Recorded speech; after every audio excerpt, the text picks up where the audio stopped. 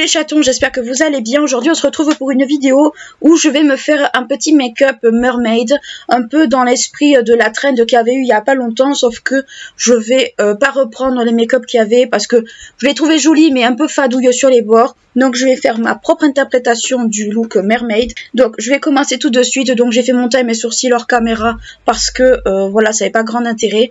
Donc j'ai retrouvé une vieille palette que j'avais. Donc c'était une palette que j'avais achetée chez Primark et c'est une palette avec Ursula dessus de la petite sirène. Alors pour ceux qui se demandent si je suis allée voir le film La petite sirène, la réponse est non, je ne suis pas allée le voir. Je vais prendre le beige qui est juste ici pour poudrer mon arcade sourcilière parce que euh, toute l'idéologie prônée par Disney me fatigue au plus en point. Moi je vais pas euh, voir un film Disney pour avoir euh, une leçon de morale loin de là ou trop teinté d'idéologie politique parce que Disney maintenant est pas mal dans l'idéologie politique et franchement ça m'intéresse absolument pas et j'avais quelques craintes au niveau du film par rapport euh, à tout ce qui avait été dit. Alors que l'actrice la, l'actrice soit black, ça je m'en fiche. Euh, franchement, je suis la première à dire que je m'en fous en fait. Je m'en fiche en réalité parce que voilà, enfin je veux dire du moment que le film est respecté, je m'en battais un peu les steaks, mais il y a certains visuels que j'ai vus, il y a certaines choses que j'ai entendues et tout, je me suis dit non, c'est bon. Je, je, vais pas voir un film Disney pour avoir une leçon de morale, je vais voir un film Disney parce que j'en ai envie, mais honnêtement euh, non. Non, je, sais pourquoi je suis pas allée le voir, je vais pas polémiquer dessus sans ans. Alors je précise que le, le choix de l'actrice, moi je m'en fichais pas mal. Euh, je l'ai vu passer, euh, je me suis dit bon, pourquoi pas après tout, il faut être un petit peu ouvert, pourquoi pas. Mais honnêtement, c'est c'est pas ça moi qui me gêne dans Disney. Que l'actrice soit black, je m'en foutais complètement. Je le dis, je le répète, ça n'a rien à voir avec ça. Mais j'avais quelques craintes vis-à-vis de ce film et malheureusement mes craintes sont un peu avérées et je me suis dit non. Honnêtement non. Si c'est pour avoir une leçon de politique derrière, moi ça m'intéresse pas. Et Disney est en train de se péter la figure par rapport à ça. Donc je vais faire une base euh, crémeuse pour avoir une teinte. Donc je vais prendre euh, un, un shadow comme ça de chez Primark donc il va y avoir beaucoup de produits Primark dans cette vidéo, je suis désolée. Mais voilà, je clôture la parenthèse sur le film. C'est dommage hein, parce que c'est mon, mon dessin animé préféré de chez Disney. Mais honnêtement, je ne me voyais pas en fait aller voir un film où euh, il y a une idéologie politique derrière, ça me gêne plus qu'autre chose. Et en réalité, moi, ça me, ça me saoule en fait.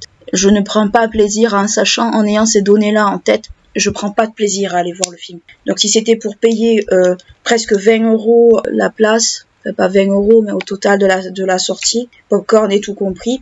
Non, honnêtement, non, ça m'intéressait pas. Ça m'intéressait pas et c'est bien dommage parce que c'est mon dessin animé préféré. Mais euh, moi, je vais pas voir un film, euh, quel qu'il soit, pour avoir une leçon de politique derrière. Ça me saoule. Moi, je, si je veux vraiment avoir, euh, si je veux vraiment un truc comme ça, je vais voir des films exprès dessus. Mais non, ça, ça m'a gavé. Ça m'a gavé et ça m'a pas donné envie.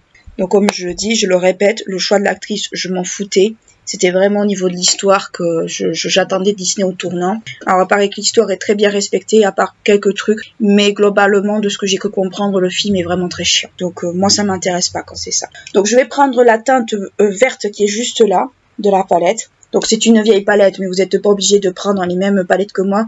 Si vous avez les mêmes palettes à la maison, c'est largement suffisant. Je dépose juste là, sur ma base crémeuse. Donc c'est un espèce de vert. J'ai mis une base crémeuse dessous pour faire ressortir le phare parce que je le trouve très beau. Mais des fois, les anciennes palettes de Primark ont avait un gros inconvénient, c'est qu'elles n'étaient pas des fois très pigmentées. C'était dommage, d'ailleurs, par rapport à ça. Par contre, celui-là, je vois qu'avec la, base crémeuse, il ressort de ouf.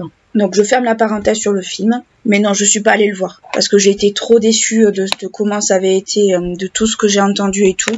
J'avais des craintes, honnêtement, j'avais beaucoup de craintes. Et malheureusement, euh, comme beaucoup de fois et beaucoup de choses, mes craintes se sont avérées justes et euh, non, j'ai dit non. Je vais pas voir un film Disney pour avoir une leçon de morale sur la politique ou je ne sais quoi. Si vous vous intéressez à tout ce qui est Disney, je vous conseille d'aller voir des critiques de cinéma.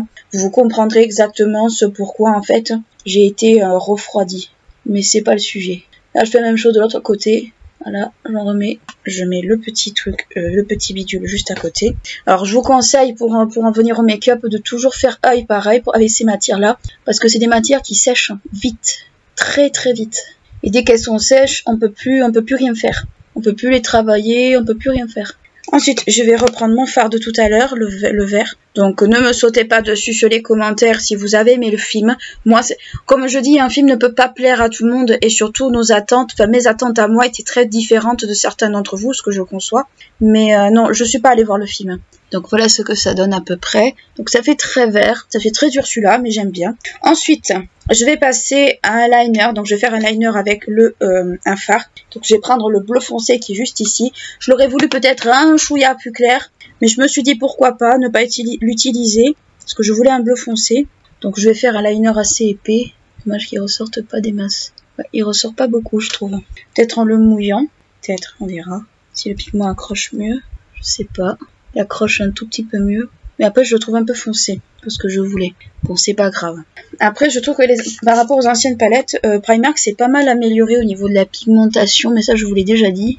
Je vois pas grand chose, malheureusement.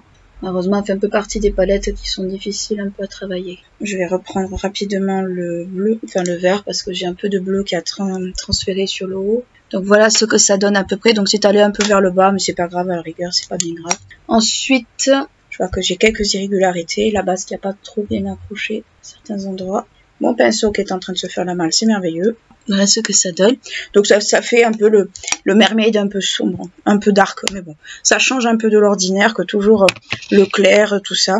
Moi, c'est ma version à moi. Je vais prendre à nouveau le euh, double shadow comme ça, mais je vais prendre euh, le côté un pailleté. J'espère qu'il il a pas séché.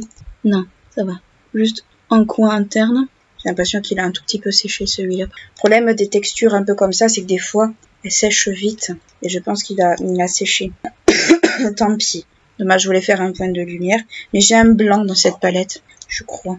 Je vais prendre le petit blanc qui est juste là, avec le bout du petit doigt. Bon, c'est un blanc pailleté, c'est pas un blanc mat, mais c'est parfait. C'est parfait pour l'effet que je voulais. Donc la palette, c'est bon. Ensuite, je vais me faire des petits points blancs avec le liner blanc de chez Sephora qui est juste ici, qui est un blanc nacré, comme ça. Donc je vais quand même bien le secouer. Je vais me faire comme des petites perles au niveau des yeux. Je vais pas en faire de partout, mais je vais en faire quelques-unes. Je vais me faire trois petites perles. Voilà, c'est suffisant. Allez, une quatrième pour le fun. Le problème, c'est que dès qu'on commence à en faire, on a envie d'en faire partout. Peut-être un peu trop rapproché celle-ci, mais voilà, j'essaie de l'arrondir un peu. Je vais en faire une petite cinquième parce que j'aime pas trop le chiffre 4. Voilà, c'est suffisant. Ensuite, je vais faire même chose de l'autre côté, mais je vais le remuer de nouveau. C'est pas évident de le faire des, petits trucs comme ça. Je vais prendre le miroir parce que je, suis toujours à 10 km de mon miroir et je ne vois strictement rien. Ce qui arrive quand on a un problème de symétrie, c'est qu'on fait pas les choses comme on veut. Donc j'en ai une qui est plus grosse là que là. C'est un peu pénible, mais il y a des fois, je j'arrive pas à faire exactement comme je veux. De toute façon, c'est une question d'entraînement, c'est toujours pareil. Après, c'est pas mon œil photo trop sur le, gauche, c'est mon œil droit. Donc je suis désolée si elles sont pas régulières, régulières. Mais c'est une question d'entraînement toujours pareil. je remue souvent parce que euh, j'en ai pas toujours beaucoup. Donc voilà ce que ça donne. Je suis désolée si c'est pas trop euh, trop pareil, mais bon, j'ai pas trop l'habitude de faire ce genre de petits détails, donc vous m'en excuserez d'avance. Mais voilà pour les petites perles entre guillemets. Je vais passer au mascara. Pour ça, je vais prendre un mascara, non pas mon Estée Lauder que je déteste, mais je vais prendre un mascara qu'on m'a donné enfin que j'ai récupéré plutôt, qui est le Dior Show en bleu de chez Dior que je connais. Je l'avais en noir à une époque, mais là je l'ai en bleu. C'est un bleu un peu foncé qui est pas mal, je trouve. Et surtout, c'est une grosse brosse. C'est les grosses brosses comme j'aime. Donc, voyons si j'ai pas perdu la main avec celui-là. Et il est sec. C'est ce que je craignais, il est sec. Non, il a séché. J'aurais dû m'en douter. C'est pas grave. Je vais chercher un autre, euh, un autre mascara bleu. Parce qu'il a séché. Comme le chaud a séché, ce qui est dommage, je vais prendre le Bad Gal bleu qui est ressorti chez Benefit justement il n'y a pas très longtemps. Donc celui-là, je sais qu'il n'a pas séché. La brosse est comme ça, c'est une brosse pico plastique. Mais c'est l'une des rares brosses que j'aime bien comme ça. Alors c'est pas du tout le même bleu, c'est un bleu très très très très très pétant. J'ai qu'elle s'est un peu tordue même. on dirait qu'elle s'est tordue la brosse un peu. Enfin, je sais pas comment.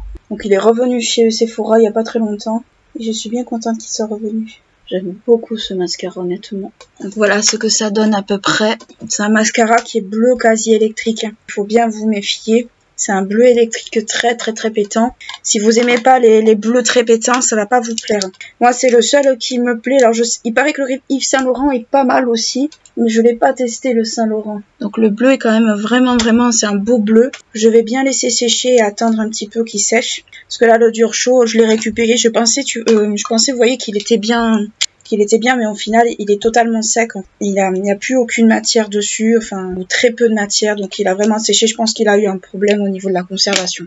C'est bien dommage parce que les Dior Show sont très très bien de chez Dior, c'est des très bons mascaras. Mais là, il a, il a très très mal vieilli. Je pense surtout qu'il a été mal conservé. C'est pas génial. J'aurais dû le tester avant, mais bon, j'ai été tellement contente d'avoir un Dior Show que j'ai oublié. Donc voilà, voilà pour cet incident. Donc voilà ce que ça donne à peu près avec les cils bleus. En rouge à lèvres, on va faire quelque chose d'assez soft. On va prendre un gloss. Donc moi, ce sera le clinique, celui-là. Alors ça va faire un look un peu très très Ursula, hein, mais c'est pas grave. J'en ai très peu. Donc voilà, ça fait un look très Ursula. Mais j'avais envie de faire quelque chose d'un peu différent. Quelque chose, on va dire, de plus... Euh, peut-être un peu plus dark, un peu plus sombre. Un peu plus, on va dire, euh, moins subtil. Ça change un petit peu du subtil. Donc voilà ce que ça donne à peu près. Ça fait un look assez euh, coloré, pas très discret, je sais bien. Mais j'avais envie de faire ma propre interprétation de cette tendance un peu mermaid où c'était vraiment du, de l'effet mouillé, ce genre de truc. C'est super. Mais j'avais envie de faire quelque chose de peut-être plus euh, on va dire plus moins soft entre guillemets, surtout au niveau des yeux. Donc voilà mon interprétation de cette ancienne trend. J'espère qu'elle vous a plu, qu'elle vous aura intéressé. Moi j'ai pris beaucoup de plaisir à le faire.